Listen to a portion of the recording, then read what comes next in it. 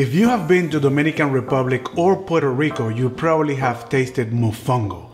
If you haven't, oh my God, you don't know what you're missing. But don't worry, after today, you'll know how to make one at home because that's what we're cooking and you are gonna love it.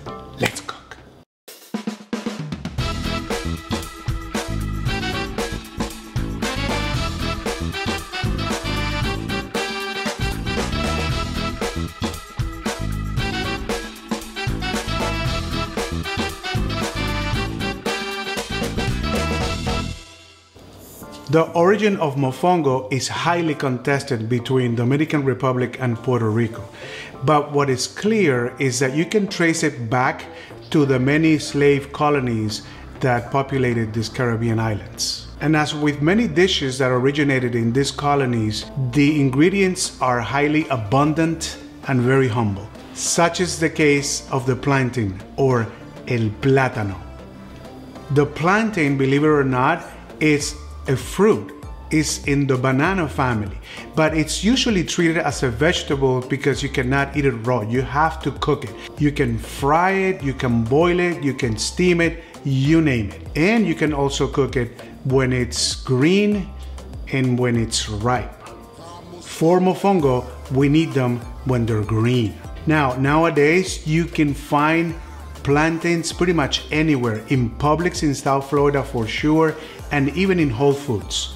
So it's not gonna be hard for you to find them. The other ingredients are chicharron, which is the nice pork rind with meat on it, garlic, salt, and oil. That's it. Very simple, very humble. In fact, the original recipe is called for you to actually broil the plantains right on the fire. You didn't even need oil. But obviously in modern kitchens, we are gonna fry the plantains and they come out just as good. The only special equipment you're gonna need is a mortar and pestle. Now, this one is very traditional and it's made of wood and you can actually use the pilon as a serving vessel. I've had many like that in different restaurants in Dominican Republic. Now, that's a clue. My family on my mom's side is from Dominican Republic, right? So I am gonna lean towards the Dominican Republic execution of this dish. That includes almost always chicharron. I found that in Puerto Rico sometimes it doesn't include chicharron because you may add other things. Now, uh, don't don't hate me for it. This is the one that I'm familiar with. This is the one that I absolutely love and it's very simple and you'll love it too. In most Dominican restaurants, you get mofongo with a side of a little chicken broth. I personally never drink it, I never use it, I don't like adding it on it. I think it just make it too soft. I don't use it, so I'm not gonna prepare it today, but you can do that if you want. Just get a little bit, maybe a little bit of chicken bouillon with hot water and you kind of make your own little broth and it's great for people. Some people swear by it and they love it. I just don't like it. So I thought I would just keep the preparation simple for you. As always, first we're gonna get organized. The French call this mise en place, and all mise en place is is having all the ingredients and the tools that you need right in front of you. Cooking is always about ingredients, time, and temperature. That is why it's so important to look for the best ingredients you can find. This is so simple that this time we're not gonna need a conga line, so we're just gonna go ahead and prep everything we need right now. But as always, mise en place is less stress. Let's prep.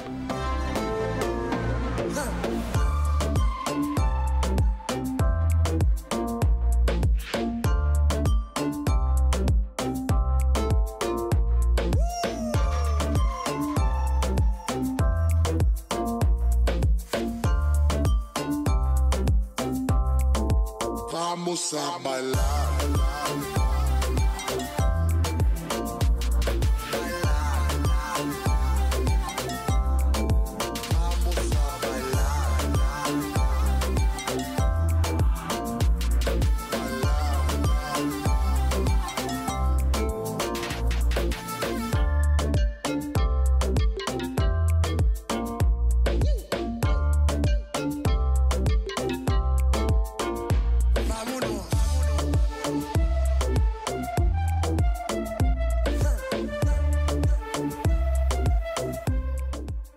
And now we're ready for shout outs. These are the people that are cooking our food, taking pictures and letting us know about it. Try it. First, my uncle Nelson from Venezuela. He actually cooked the huevos rancheros and they look great and he loved them. Roy Maltese cooked the pork belly. Kathy Briseño's been cooking up a storm. She did the chicken steaks, the fish tacos twice, and the omelet. My cousin Nelson out of Miami made the salmon and it looked fantastic. Patricia Valencia, my old friend also in Miami, actually also made the pork belly. And my brother Hugo did huevos rancheros in the morning on Saturday and the onion soup for dinner. Wow, what a day of great eating.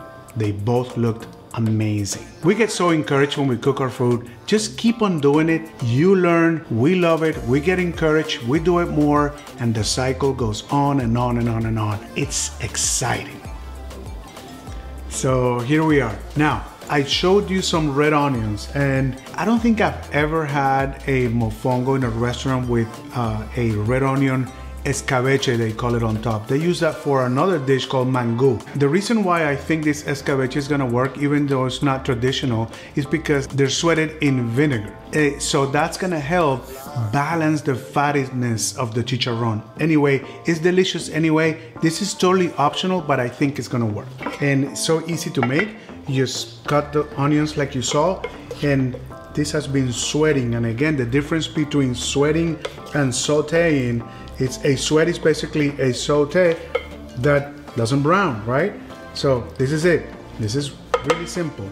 And we're gonna set this aside until serving. Okay, so now all we need to do is to fry the plantains, right? So we're gonna heat this oil to 350 degrees. Now, what I did is I cut the plantains way smaller than you would for tostones, for example, because with tostones, we're gonna mash them and keep them whole like this. Now, with mofongo, we're gonna mash everything into a pulp, right?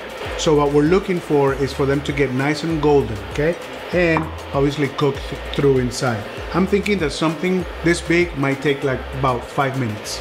So here we go. Now, this is two plantains a large one and a small one. I think this is probably, it looks like this, but once you add the chicharron and everything, this is probably good enough for two people, for one very hungry person, right? So we're just gonna stick to this portion and see how it goes. Now, you may have to both cook the plantains in a couple of batches, and also when you mash them, you may have to do it in, in batches, depending on the size of your pilon or your uh, mortar and pestle, right? So we're gonna start with a group here. And as you add them, keep in mind that the oil temperature goes down, right? So we're gonna do two batches. Actually, this thing defaults to 375. I'm gonna lower that temperature a little bit to 350. Okay, so now we wait for it to cook and I'm gonna show you what it's supposed to look like. Okay, it's been six minutes already and um, see they're kind of golden brown. I'm gonna put them here in a lining or plate with a paper towel and then we're gonna add the next batch. You need to move them around a little bit at the very beginning so they don't stick together.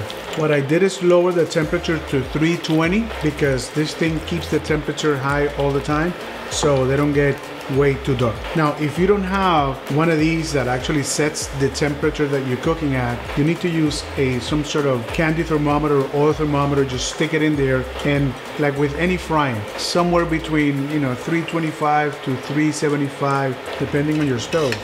The 350 is probably good. These things need to cook for about six minutes because if you put it too high, they will get dark outside and not cook through. And remember, plantains are not bananas. You have to cook them through. Okay, so we're good to go. It's been about six minutes with this batch as well. So something you want to do is just add salt. Whenever you're frying something, add salt immediately because it's gonna stick better to the food. Okay, so we're ready to start mashing everything together. The first thing we're gonna add is the garlic and uh, it's up to you, really. I mean, if you like the flavor of garlic, you can do more. If you don't like it so much, you can just do a little bit and just have a subtle, or you can just skip it altogether. Now, I wouldn't skip it if you can tolerate garlic because this just adds a different dimension uh, to the flavor of the mofongo, right? So I added there with a little bit of salt. It helps with the mashing. And we wanna just mash. You may not be able to see this, but this one has like two small holes in there. And the garlic is so small that just one in there. So I may have to just, I'm gonna get it out. So many times in cooking, you need to improvise, right? So get it out, mash it out here, put it back in. See, turn that into like almost like a paste. And we're gonna put it back in there. These things are made by hand, right? So it's a little hole that has in there and this piece of garlic was way too small. Now I'm gonna start adding the plantings. I'm gonna do, again, I said you need to probably do it in batches. I do half, about half of it. I'm gonna go ahead and use this spoon to get everything moving in there as you mash on the side of things, the other side tends to come up, so you cannot like put everything together. So almost like a, circular motion. Now, we're gonna start adding chicharron, a little more, more plantains, a little more chicharron here for me, a little more plantains. And this one's pretty deep, so two whole plantains in here and a little bit more chicharron. As you can see, this chicharron has the crunchy part and the fatty part and a chunk of meat. And that is what you want. Now the plantain, when you fry it, it's really very dry, but the chicharron is gonna release a lot of moisture uh, with the oil. Obviously, I didn't cook this chicharron because I didn't show you how to do it but you can buy it in, in any number of uh, Latin markets. This was a Mexican market around here at the beach. Just make sure you look for one like this that has a chunk of meat in it. One, I think I'm gonna do two more for good measure. Funny how you mash on the side, the other side comes up, and then you push that side again, okay? I'm just gonna, just making sure that everything is blended together, and then we're gonna start mashing again. I'm gonna use a knife around the whole thing. And because you could eat it right out of here I'm gonna try and dislodge the whole thing into the plate like this. Let's see. You can make this into balls little balls and just serve them like that. It would be nice if I could keep the shape of the pilon like that. See? It's a nice shape of the pilon. And so again this is very optional but I think it's gonna work. I'm gonna put some of these on the side right here right? And there you have it, mofongo, ready for taste test.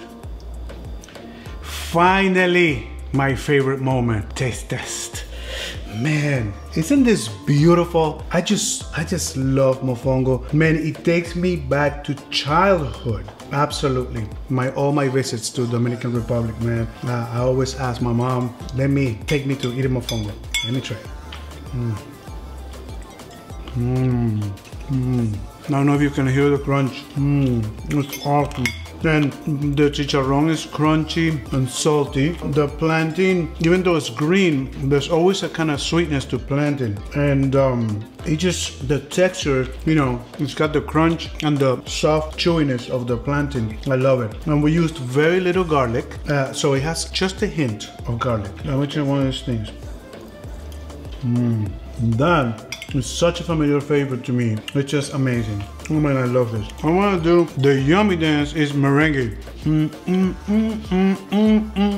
mm, so Dominican. And to my Puerto Rican friends, I love mofongo in Puerto Rico as well. In fact, all Puerto Rican food. If you need to heat this up, because maybe it's too much for you, you can just do it on a, either the oven or on a pan just heat it up like that and just then put it together again. Mm. Now, I was thinking, what wine can we eat with this? I'm thinking, man, this is Dominican. How about a beer, a Presidente? That's the Dominican, I mean, the number one Dominican beer, right? So that's it. Salud. Oh, it's a marriage made in the Caribbean. You know what? Joanna needs to try this. Come on, Joanna. You need you. need, Let's exchange. Come on. Hello. Oh, mofongo. Well, as many of you know, I am from the Dominican Republic. I was born here in the States, but that's my country of origin. And this is freaking awesome. So let's see, babe, how you did. Mm, takes me back. Takes you back home, doesn't it? Oh my gosh. Comfort food for a Dominican chick at its finest. Mmm. Mmm. I can hear the crunch. You hear it? Oh my gosh. You guys have to try this. Okay, one more bite because I'm watching my carbs. Mmm. Mm, mm, mm. Merengue. Mm, mm, mm, A Dominican yummy dance for sure. Great job, babe. Beer's great. I'm just gonna look at it. Awesome. Another hit. Great job. You guys should cook this. To all my Dominican friends and my not Dominican friends, you have to try this. This is different, but it's so delicious. Man, isn't this something? Delicious. I, I mean, I need to eat some more. Mmm. Mmm, mmm, mmm. On the little cebollita. Mmm. Don't mind her. We're gonna do Dominican, uh, we're gonna do a yummy dance. yummy dance, yummy dance, yummy dance. Merengue, merengue. Mmm. Guys, this is gonna be very different for a lot of you. And you may say, oh, that's weird. I know. Venture out. Get out of your comfort zone. Find the plantain, the plátano. You can find that anywhere. Chicharrón. And then do something different. And maybe not for the family yet. Maybe just for you or the two of you. And um, or the one of you. or the one of you, right? Because uh, you know what? It's pandemic time. You may not be able to go to the DR or Puerto Rico, but you can do that at home. Get on a bathing suit later or shorts and lather up with it. I mean, get out on your tanning outside, whatever it is that you can use at home. And if you're freeze in freezing weather right now, hmm, imagine that you're in the Caribbean. I promise you, you are gonna love this actually. All right, now, four things subscribe, hit like, share with your friends, and Cook it. cook it. You need to cook it. You need, I'm telling you, I know it might be different for some of you, but try it and let me know. Now, from the Caribbean, we are traveling to South America to the home of the Inca. So we are making Peruvian ceviche. Whoa. I cannot wait. Come back and see us.